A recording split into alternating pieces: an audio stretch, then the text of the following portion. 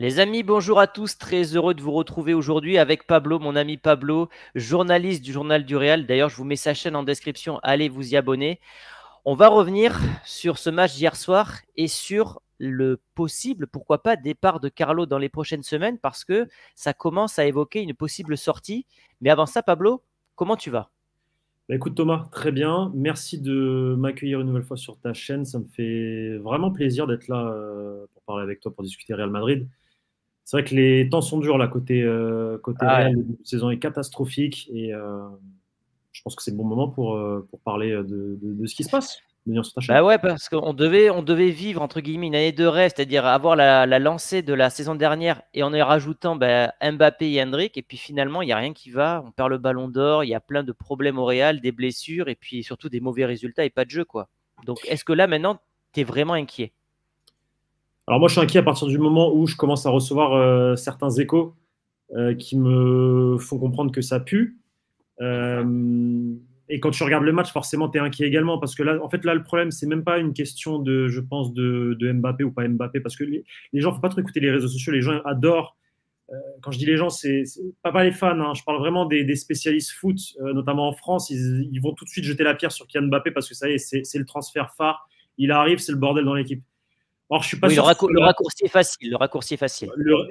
c'est exactement ça. Et pour moi, c'est pas le, c'est pas ça la cause du problème. Euh, il fait partie.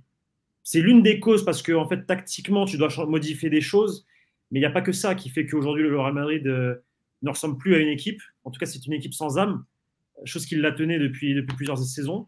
Euh, là, je vois un coach qui est totalement, totalement. En fait, il sait plus quoi faire. Il sait plus quoi faire. Il, plus, y a trop de chantiers. trop de chantiers, je pense. À faire. Et je pense que malheureusement pour lui, euh, il y a eu euh, un concours de circonstances également. Donc déjà, il y a eu le mercato qui effectivement, euh, avec un peu plus de recul, n'a pas été bien géré, tu vois.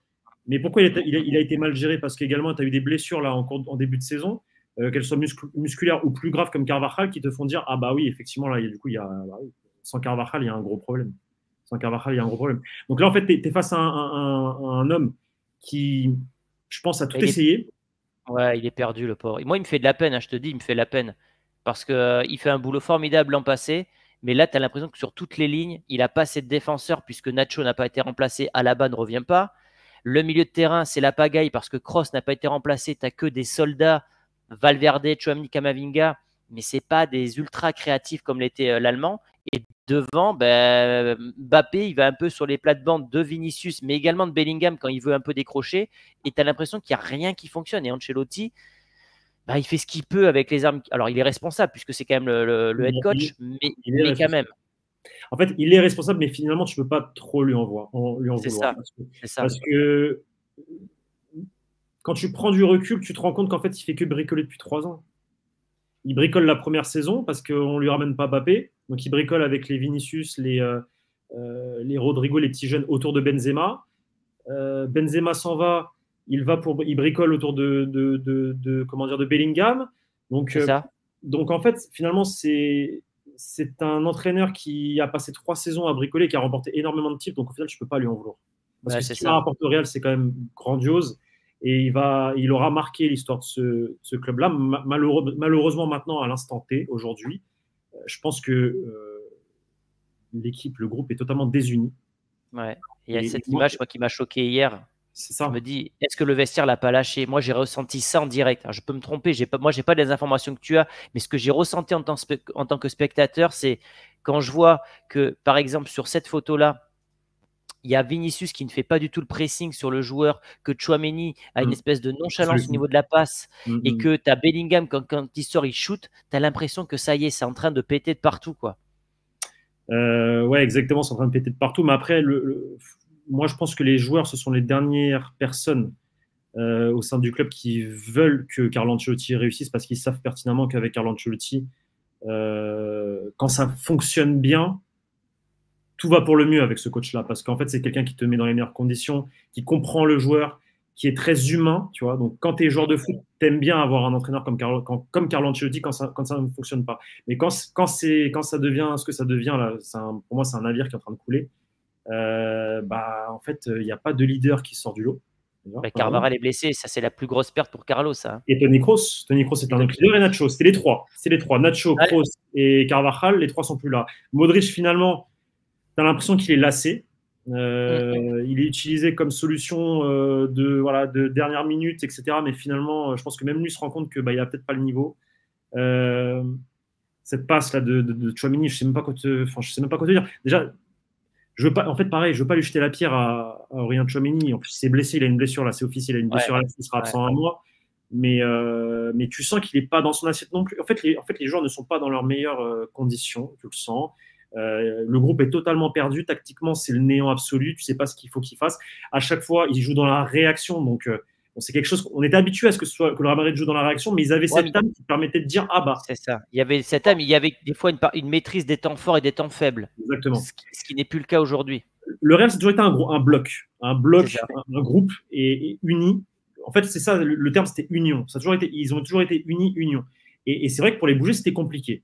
Maintenant, footballistiquement parlant, quand tu parles football, alors tactiquement, c'était pas le truc le plus beau à avoir joué, ça c'est clair. Mais c'était Chacun, savait chacun avait son rôle, chacun savait ce qu'il devait faire.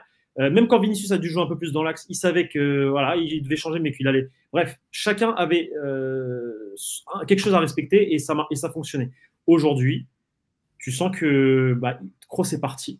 Et je pense que c'est ça qui, moi, pour moi, le, le, point de départ, finalement, je pense que c'est Tony Kroos. Parce que Tony Kroos, on s'en est pas assez rendu compte mais finalement c'était le, le, réel métro ah, Il n'y a plus personne pour faire le jeu en fait. Et dans l'ombre, hein. et finalement c'est quand tu perds des joueurs de, de ce calibre-là qui, que tu te rends compte qu'après tu les, as, tu les as plus. Moi Casimiro aussi, tu vois, moi j'aimais bien Casimiro dans ce rôle un petit peu de, de chien devant la défense. Moi je vois pas ça chez, chez Chouameni, c'est ça qui m'embête. C'est pas son côté... Euh, moi, c'est son attitude qui me dérange parce que j'étais trop habitué à avoir un Casemiro malin, vicieux, qui taclait et j'ai l'impression que lui, il est trop dans, la, trop dans le confort. Mais je vais te dire un truc, finalement, Chomini, moi je le dis souvent, hein, mais Chomini, euh, Alex Monaco, il joue pas à ce poste-là. On, l'a mis en tant que numéro 6. Il jouait vite un peu, ouais. C'est un, joueur beaucoup plus offensif à la base et qui a dû se réadapter pour le Real, jouer un peu plus bas parce qu'effectivement, il a un gabarit, il a un corps et que oui, physiquement, il correspond bien pour ce, pour ce, ce rôle-là, ce poste-là. Mais a-t-il réellement les, les, les, armes pour jouer en tant que 6 pivot seul? C'est là où tu te poses des questions. Moi, je pense qu'il serait plus à l'aise dans un double pivot à quelqu'un à côté de lui. Je pense, c'est mon avis. Kamavinga, par exemple, tu vois. Euh, et là, tu... Ouais, c'est... Vas-y, dis-moi. Tu vois des solutions ou pas à court terme, là? Parce que même moi, à moyen long terme, je me pose la question, je me dis comment tu peux rééquilibrer cet effectif, refaire jouer, par exemple, des jeunes, tu vois, les, les remotiver, parce que là, on les a perdus, les jeunes, quoi. Carlo Ancelotti, c'est soit il se transforme en sorcier et, il fait un tour de magie, un tour de passe-passe comme il a fait euh, lors des trois dernières saisons, et il réussit à, en l'espace de, de là, là, 15 jours, à réinverser la tendance et à redonner une dynamique positive. Mais ça me paraît compliqué parce que là, il a quand même eu 10 jours pour, préparer ce match-là. Alors oui, peut-être que c'est vrai que le contexte n'était pas le plus favorable avec ce qui s'est passé à Valence, etc. Je suis d'accord. Tu n'as pas la tête à jouer au football, je, comprends. Euh, mais malgré tout, tu as quand même eu 10 jours pour, préparer un match de Ligue des Champions qui est important parce que finalement, euh, tu es obligé de le gagner parce qu'aujourd'hui, tous les matchs comptent en Ligue des Champions. Euh, là, tu te retrouves dans les positions de, de, de barragiste, donc c'est un peu relou. Euh, soit je, l'annonce, soit il a tendance, et c'est ce que moi j'ai pu entendre ces dernières heures, bah, mmh. c'est qu'il y ait un licenciement ou qu'il démissionne. Moi, moi, je préférais qu'il démissionne plutôt que licencier en termes d'image parce qu'il a été viré en 2015 et les joueurs, je me rappelle à l'époque, Ronaldo, etc., étaient vraiment très touchés par son départ. Zidane était au Bernabeu hier. Est-ce que tu crois à un possible retour, à une troisième mandat de Zidane? Euh, c'est pas je crois, c'est possible. Ah Ce que je peux te dire à l'instant T, c'est que Zidane est, a toujours, sera toujours sur la liste des possibles entraîneurs. Ouais. Tout simplement parce que bah, le président du Real Madrid, c'est Florentino Pérez et que Florentino Pérez avec euh, Zidane, c'est. Ouais, mais pourtant, il y a eu des froids entre les deux lors du deuxième mandat, non pas avec, pas avec Florentino Pérez. Avec des gens autour de Florentino Pérez. D'accord, ok. Zidane, il s'est rapproché du Real Madrid la dernièrement. Tu le sais très bien, tu l'as vu l'année dernière, il est, il est revenu au match des légendes. Euh, il vrai, a de Mbappé. Là, il y a eu ce froid qui s'était instauré euh, justement avec la lettre dans As de Zidane, etc. Ça s'est beaucoup calmé parce que justement le, président a fait un travail pour le, pour, le, pour le faire revenir. Il était aussi à la cérémonie du Ballon d'Or quand Benzema gagne le Ballon d'Or. C'était après cette lettre-là. Et la présentation d'Mbappé aussi. Zidane, Zidane est, le, président. Voilà. Et, si le président est là, tant que le président sera là, ce que je veux dire, c'est que, c'est que Zidane sera un an potentiel. Et, moi, ce que je peux te dire à l'instant T, c'est que le peu d'écho que j'ai depuis hier soir, moi, moi j'ai une source que j'estime à Madrid qui m'a dit prépare-toi à commencer à parler de Zidane dans quelques semaines. Donc bon, je sais pas ça vaut pas grand chose. Ça vaut pas Est-ce que toi, tu, vois un gros changement toi entre Zidane et Ancelotti finalement? Tu vois, ce que... Et puis surtout, il y a Xabi Alonso qui est normalement prévu pour 2025. Ça veut dire que tu fais venir Zidane en tant que quoi? Que, Qu'intérimaire comme ça? Non, non c'est pas possible.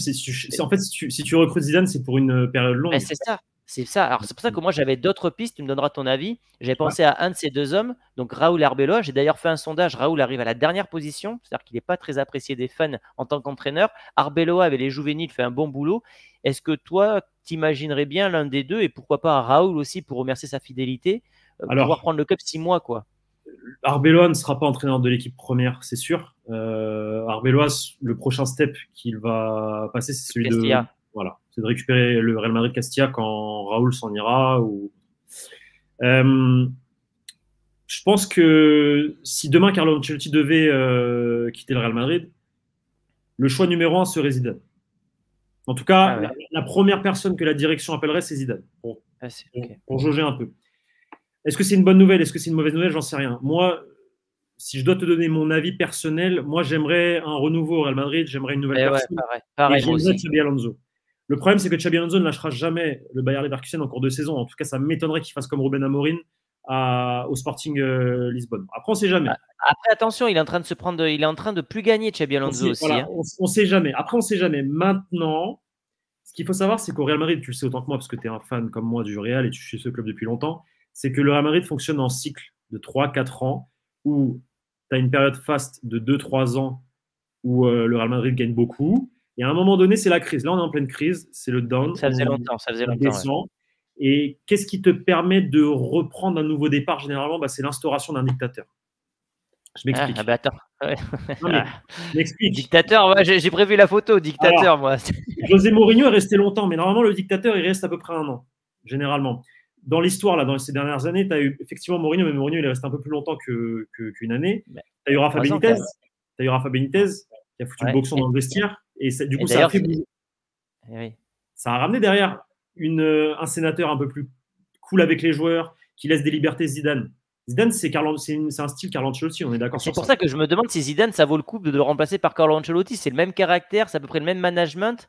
Tu vas pas avoir un électrochoc. Ensuite, Lopetegui qui se, fait, qui se virer au bout de trois mois, qui c'est qu'on ramène? Solari, qui n'est pas tant un dictateur que ça, mais qui fait des choix forts. Tu vois? C'est ça aussi. Un dictateur, c'est quelqu'un qui n'a pas peur de dire Ok, Marcelo, t'es mauvais, et eh ben je mets Sergio Regulon. Ok, milieu de terrain, il y a un problème, et eh ben je mets Marco Surente. Ok, et, qui fait des choix forts pour faire bouger les titulaires en fait, pour leur dire mmh. écoutez, vous n'êtes pas indiscutable, bougez-vous, vous êtes au Real Madrid. Et en fait, dans ce rôle-là, qui c'est qui coche toutes les cases dans ce rôle-là? Bah, C'est Raoul. Alors Raoul, j'ai pas d'infos, mais Raoul, tant qu'il sera entraîneur euh, du Real Madrid Castilla, et que s'il y a, il faut choisir une solution d'urgence avant l'instauration d'un sénateur type Xabi Alonso. Moi, euh, moi, j'aimerais bien aussi pour le côté, euh, il a vraiment aidé le club, notamment avec le Castilla ces dernières années. Il a, il a jamais rien demandé. Alors oui, c'est peut-être pas le crack annoncé, mais il faut aussi donner, faut aussi laisser la chance au produit, j'ai envie de te dire. Zidane, on savait pas ce qu'il valait avant de prendre le Real finalement. Certes, c'est vrai, c'est vrai ce que tu dis, mais je suis pas sûr que Raoul ait le caractère et la personnalité pour diriger sur le long terme un club comme le Real Madrid. Parce que ah non, mais moi, je, pense que s'il prend, c'est six mois. C'est juste en attendant Xabi Alonso, tu vois. mais lui, c'est l'opportunité de sa vie, finalement. Tout ce il attend que ça depuis des années. Ben oui, je sais. C'est pour ça qu'il reste au Castilla, c'est pour prendre le Real en cas qu'il y ait un pépin comme aujourd'hui. Hein. Donc lui, il, est, heureux dans l'ombre là pour l'instant. Hein. Exactement. Et finalement, quand tu regardes, quand tu réfléchis bien, quand tu te mets à la place des dirigeants, euh, Raoul part.